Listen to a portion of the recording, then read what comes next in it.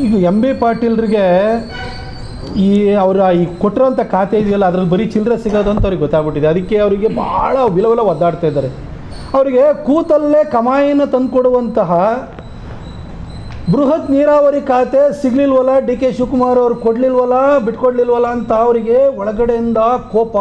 ವಿಲವಿಲ ಒದ್ದಾಡ್ತಾ ಇದ್ದಾರೆ. ಕುಂತಲ್ಲೇ ಕಾಸು ಬರೋದು. ಕಂತೆ ಕಂತೆ ಕಾಸು ಬರೋದು. ಈಗ ಅವ್ರಿಗೆ ಕೊಟ್ಟಿರೋದು ಕೈಗಾರಿಕೆ. ಕರೆಂಟ್ ಬಿಲ್ ಬೇರೆ ಜಾಸ್ತಿ ಮಾಡಿದ್ದಾರೆ. ಅಲ್ಲಿ ಚಿಲ್ಲರೆ ಕಾಸೇ ಬರೋದು. ಅದಕ್ಕೆ ಅವರಿಗೆ ಚಿಲ್ಲರೆ ಬಗ್ಗೆ ಅವರಿಗೆ ನೋವಾಗ್ತಾ ಇದೆ. ಅದಕ್ಕೆ ಅವರು ಈ ಥರ ಚಿಲ್ಲರೆ ರಾಜಕಾರಣ ಅಂತ ಹೇಳ್ತಾರೆ.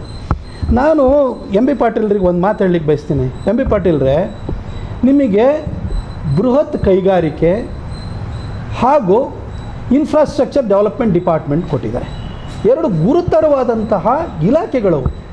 ನಿಮಗೆ ಕಮಾಯಿ ಚಿಲ್ಲರೆಲ್ಲೇ ಬರ್ಬೋದು.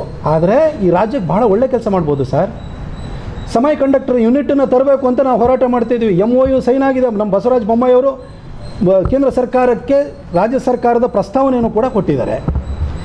ನಮ್ಮಲ್ಲಿ ಟೆಕ್ಸ್ಟೈಲ್ ಇಂಡಸ್ಟ್ರಿ ಕೂಡ ಬರಲಿಕ್ಕೆ ಅಂತಲೇ ಹೊರಟಿದೆ. ಇಡೀ ರಾಜ್ಯಾದ್ಯಂತ ಟಿಯರ್ ಟು ಟಿಯರ್ ತ್ರೀ ಸಿಟೀಸಲ್ಲಿ ಕೈಗಾರಿಕೆಗಳನ್ನು ವಿಸ್ತರಣೆ ಮಾಡಬೇಕು ಅಂತ ಯೋಚನೆ ಮಾಡಿದ್ದೀವಿ.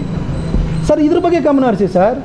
ಆಮೇಲೆ ಇವತ್ತು ಕರೆಂಟ್ ಬಿಲ್ ಜಾಸ್ತಿ ಮಾಡಿದ್ರಲ್ಲ, ಆ ಕರೆಂಟ್ ಬಿಲ್ ಜಾಸ್ತಿ ಮಾಡಿರೋದ್ರಿಂದ ಕೈಗಾರಿಕೆಗಳು ಮುಚ್ಚೋಗ್ತವೆ ಅದ್ರ ಬಗ್ಗೆ ಮಾತಾಡಿ, ಸರ್. ಬರೀ ಯಾವಾಗಲೂ ಚಿಲ್ಲರೆ ನೋಟು, ಕಂತೆ, ಇವು ಬಗ್ಗೆನೇ ಯಾಕೆ ಯೋಚನೆ ಮಾಡ್ತಿದ್ದೀರಿ ಕೈಗಾರಿಕೆಗಳ ಪರವಾಗಿ ಒಂದು ಧ್ವನಿ ಎತ್ತುವಂಥ ಶಕ್ತಿ ಇಲ್ವಲ್ಲ, ಸರ್, ನಿಮಗೆ?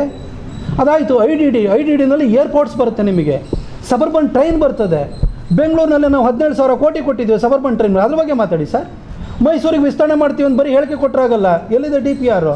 ಅದು ಕಾಸ್ಟ್ ಶೇರಿಂಗ್ ಏನು? ಅದ್ರ ಬಗ್ಗೆ ಮಾತಾಡಿ. ರೈಲ್ವೆ ಲೈನ್ಗಳು, ನಮ್ಮ ಕೊಡಗಿಗೂ ಫೈನಲ್ ಲೊಕೇಶನ್ ಸರ್ವೆ ಮುಗಿದೋಯ್ತು. ಕುಶಾಲನಗರದ ಟ್ರೈನ್ ಬಳಕೆ. ಅದಕ್ಕೆ ನೀವೇ ದುಡ್ಡು ಕೊಡ್ತೀರಿ. ಅದ್ರ ಬಗ್ಗೆ ಮಾತಾಡಿ. ಇನ್ಫ್ರಾಸ್ಟ್ರಕ್ಚರ್ ಡೆವಲಪ್ಮೆಂಟ್ ಡಿಪಾರ್ಟ್ಮೆಂಟ್ ಅದು ಭಾಳ ಗುರುತರವಾದಂಥ ಡಿಪಾರ್ಟ್ಮೆಂಟ್ ಇದೆ. ಒಳ್ಳೆ ಕೆಲಸ ಮಾಡ್ಬೋದು ಸರ್.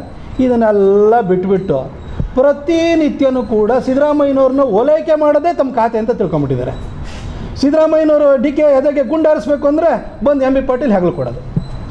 ಇದಷ್ಟೇನಾ ಸರ್ ನಿಮ್ಮದು ಸಿದ್ದರಾಮಯ್ಯನವರು ಓಲೈಕೆ ಮಾಡಿಕೊಂಡು ನಿಮ್ಮ ಖಾತೆ ಉಳಿಸ್ಕೊಳ್ಳೋಂಥದ್ದು ಅಷ್ಟೇ ನಿಮ್ಮ ನಿಮ್ಮ ಸಚಿವಾಲಯವಾಗಿದೆಯಾ? ಅಥವಾ ನಿಮ್ಮ ಜವಾಬ್ದಾರಿ ಆಗಿದೆಯಾ